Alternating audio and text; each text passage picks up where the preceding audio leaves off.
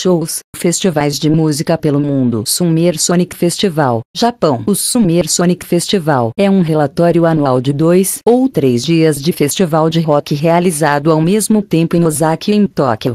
A maioria das bandas tocadas em Osaka, no primeiro dia, tocam também em Tóquio no dia seguinte, e vice-versa.